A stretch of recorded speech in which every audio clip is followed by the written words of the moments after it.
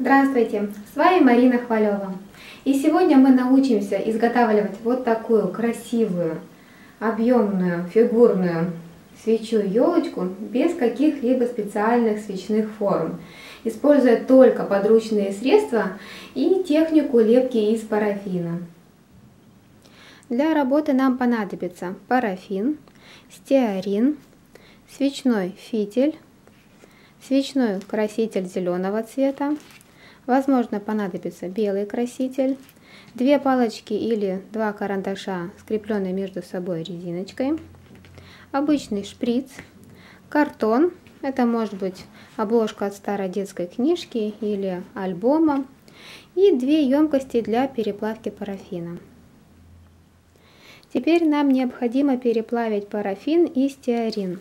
Стеарин добавляем в соотношение 1 к 4, а, то есть берем 4 части парафина и одну часть стеарина. Моя свеча будет приблизительно 300-400 грамм, поэтому для работы я подготовлю 300 грамм парафина и 70-75 грамм стеарина. Теперь мне необходимо а, парафин немного измельчить, потому что он у меня идет в таких пластах. Есть парафин гранулированный, ну, тогда его нет необходимости переплавлять. После того, как я парафин измельчу, взвешу все компоненты на электронных весах, я засыплю их в специально приготовленную емкость. У меня это вот такая консервная баночка. Вы можете взять любую старенькую кастрюльку, ковшичек или точно так же приготовить консервную баночку. Можно взять даже немного побольше, чтобы сразу переплавить э, все нужные нам компоненты. И потом нашу емкость с парафином и стеарином ставлю на водяную баню.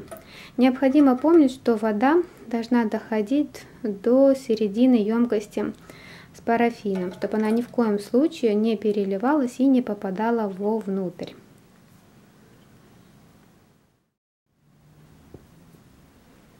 При переплавке парафина я рекомендую пользоваться свечным термометром. Парафин начинает плавиться при температуре 50-60 градусов и очень желательно следить за тем, чтобы температура не превышала 70 градусов, так как э, парафин при перегреве может самовозгореться. Если же все-таки парафин немножко перегрелся, его необходимо снять а, с плиты и остудить. После того, как температура парафина остыла до температуры 60-70 градусов, уже можно разливать по формочкам. Если нам необходимо нашу свечную массу окрасить и ароматизировать, то красители добавляем э, сразу же когда засыпаем парафин и стеарин, то есть в самом начале. А ароматизаторы добавляем тогда, когда уже вся наша свечная масса полностью переплавилась и мы ее уже снимаем с плиты. Тогда уже ее можно ароматизировать. Пока парафин, стеарин и красители переплавляются, нам необходимо подготовить форму. Если у вас есть готовая свечная форма в виде конуса, можно использовать ее и тогда никаких дополнительных хлопот у вас не будет. Если же такой формы нет, ее можно сделать самостоятельно. Для этого берем лист картона, обычную тарелку, обводим ее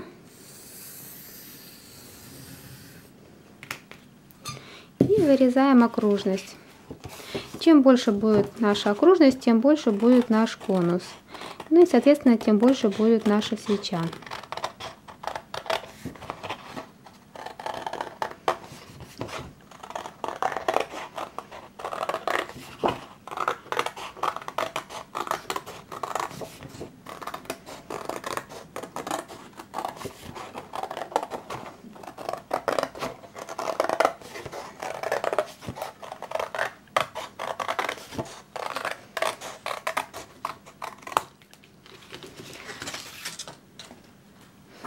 Теперь нам необходимо сделать надрез до середины окружности.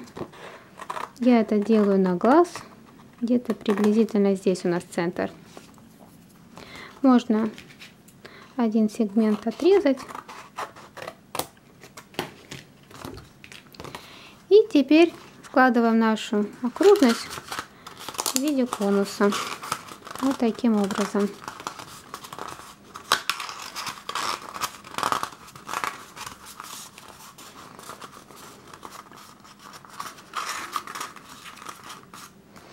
Где-то я хочу, чтобы моя свеча была вот такого диаметра.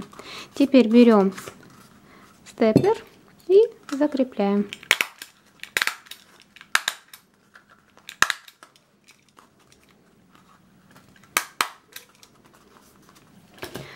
Форма для конусной свечи готова. Теперь необходимо будет э, сделать небольшое отверстие на верхушечке. Совсем-совсем маленькое. Вот теперь она там появилась. Проденем фитиль и будем заливать свечную массу. Теперь нам необходимо установить фитиль э, по центру нашей будущей свечи. Для этого я в нашу формочку вставляю фитиль и с помощью карандаша проталкиваю э, фитиль в отверстие.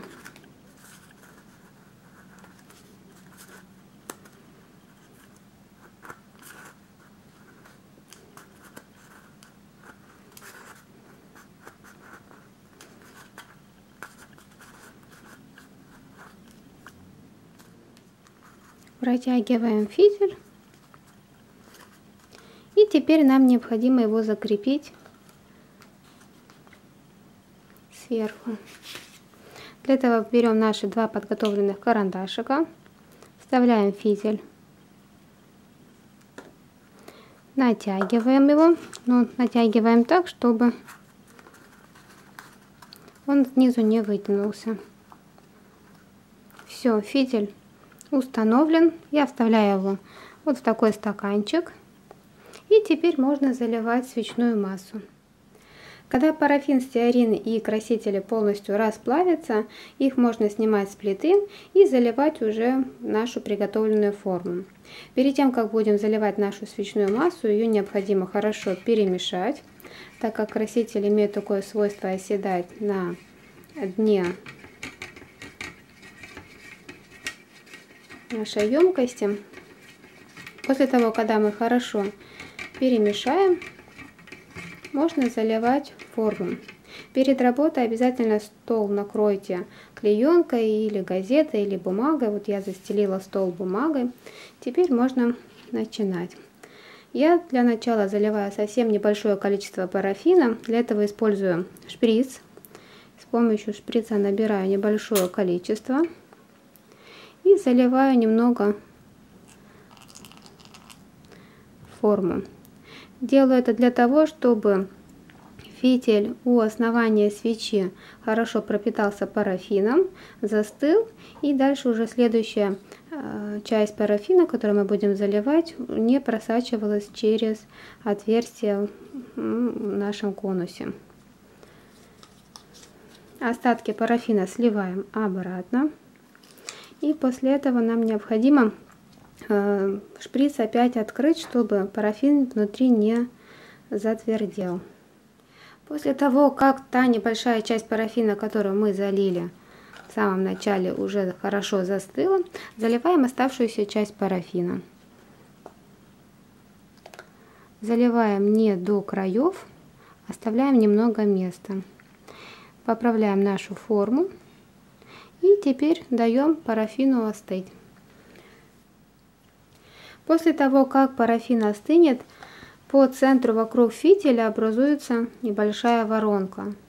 И необходимо будет долить еще немного парафина, чтобы дно нашей свечи было более плоским.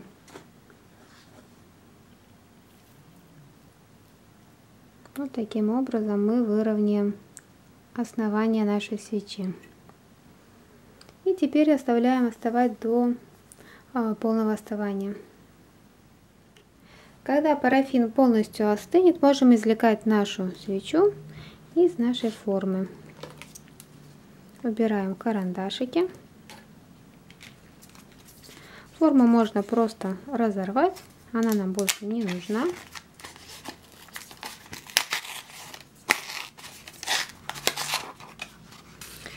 Такая замечательная свеча у нас получилась.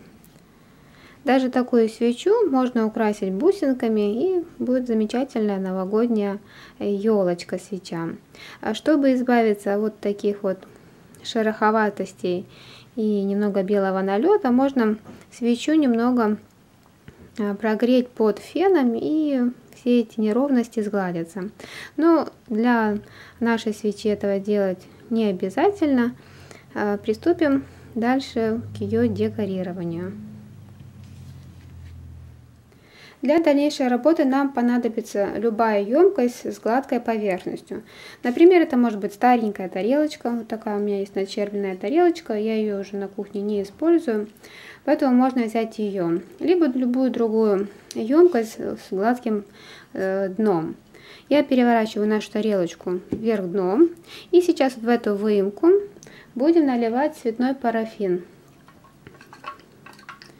Можно растопить остатки а, парафина, который вы делали раньше, либо же отдельно растопить парафин с красителем. Стеарин уже можно не добавлять. Э, парафин будет намного пластичнее без парафина, и с ним будет немножко легче работать. Наливаем слой парафина, распределяем его по дну тарелочки. И теперь буквально минутку ждем, когда парафин немножко подостынет. Но чтобы он не полностью затвердел, а оставался пластичным. И теперь ждем. Когда парафин немного подостынет, вырезаем полосочку Он еще не затвердел, достаточно пластичный и мягкий. Вырезаем с помощью любого ножа, это может быть кухонный нож или это может быть канцелярский нож. Или вот такой вот пластмассовый для детского творчества.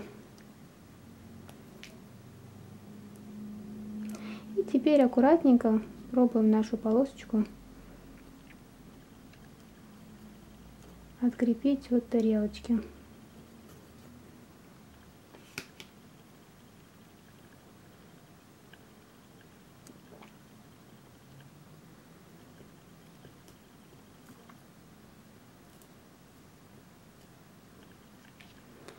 Пока парафин теплый, он достаточно пластичный, и его можно немножко придавить, сделать его тоньше или сформировать какую-то форму. Мы сейчас будем прикреплять к нашей елочке вот такой вот валанчик. Будем делать нашей елочке юбочку. Только делать это надо достаточно быстро, потому что пока парафин теплый, он пластичный. Но как только он начинает твердеть, а, уже с ним работать так будет невозможно.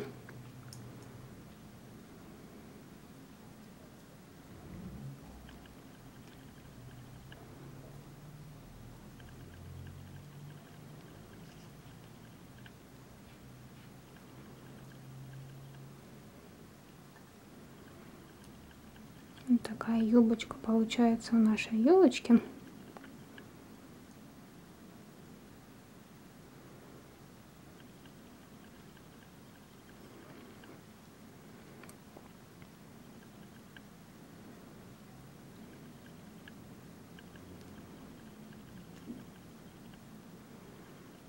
Если вам будет тяжело на первых порах, вот такую длинную полоску сразу использовать. Поделите ее на несколько частей и прикладывайте по кусочкам.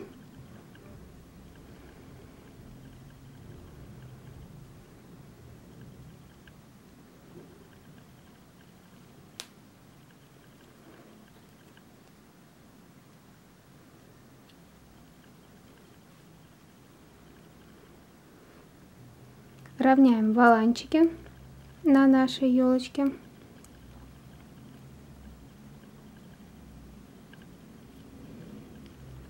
Вот такая юбочка получилась у нашей елочки. Дальше необходимо будет опять налить парафин и сделать следующий круг валана. Вырезаем следующую полосочку.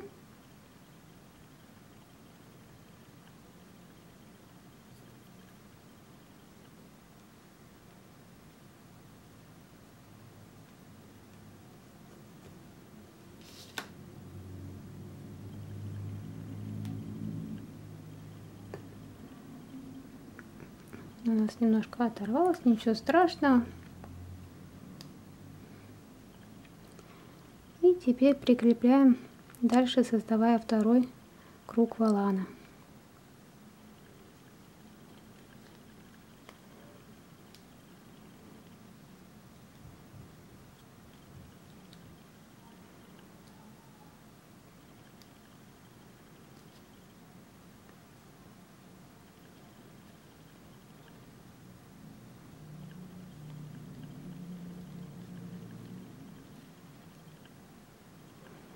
Прижимаем хорошо пальчиками, чтобы они хорошо зафиксировались.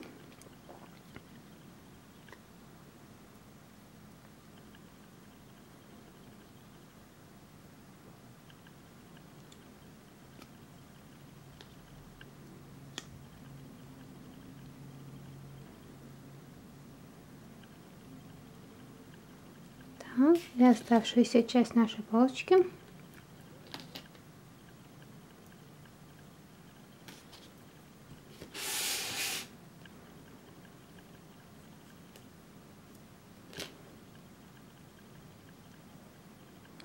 Надо учесть, что парафин значит, всегда начинает затвердевать с краев, а у серединки он остается более теплым, более мягким. И как раз вот этим свойством мы и воспользуемся. Именно эту часть мы будем прикреплять к основанию, более пластичную.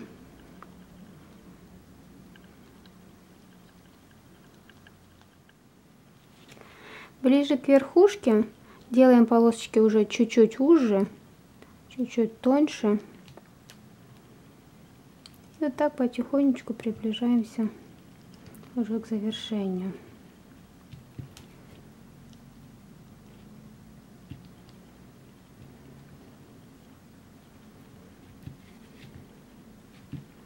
Мне осталось буквально еще чуть-чуть приделать на самую верхушечку. Для этого я налью еще немного парафина в тарелочку. И будем уже завершать. Для верхушечки вырезаем небольшую окружность.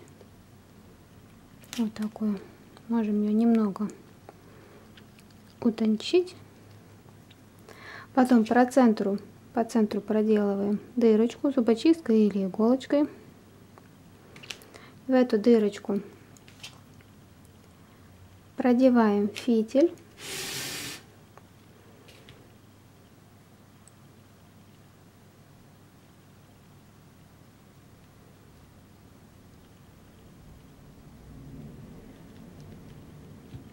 И аккуратненько вот так вот прижина, прижимаем нашу верхушку и делаем волны.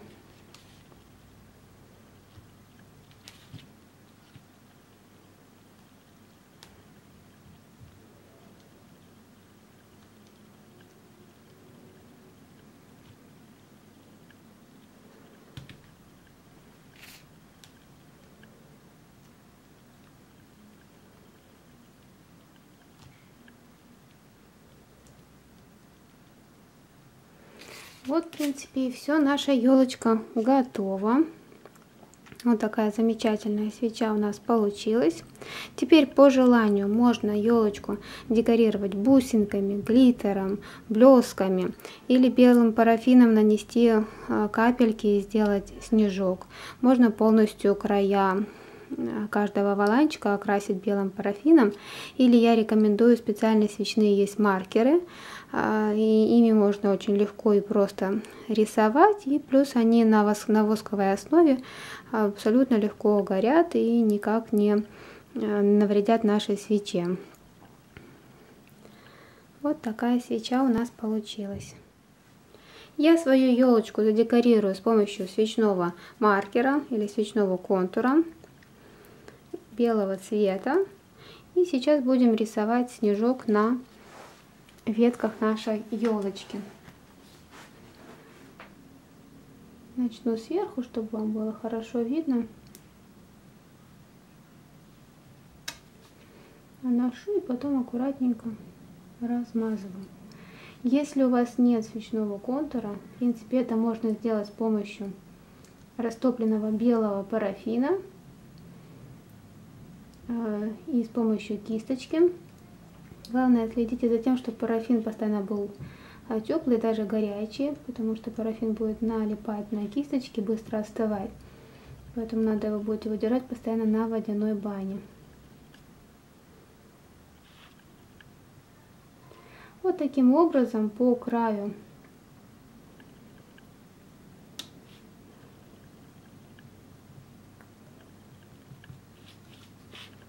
всех наших валанчиков я немножко насыплю снежка.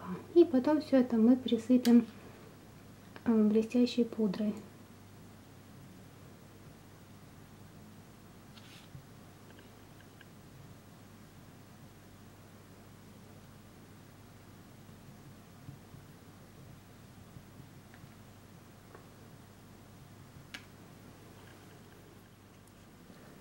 Я нанесла белую э, краску из э, свечного маркера по краям всех валанчиков. Наша свеча освежилась, э, стала более контрастной.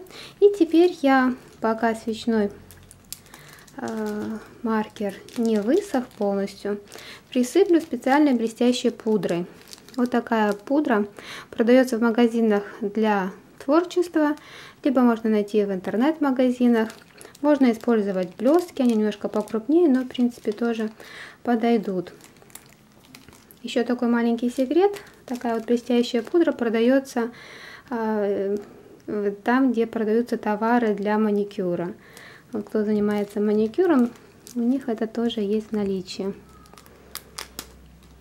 И теперь все это присыпаем. Излишки мы потом струсим, когда все подсохнет.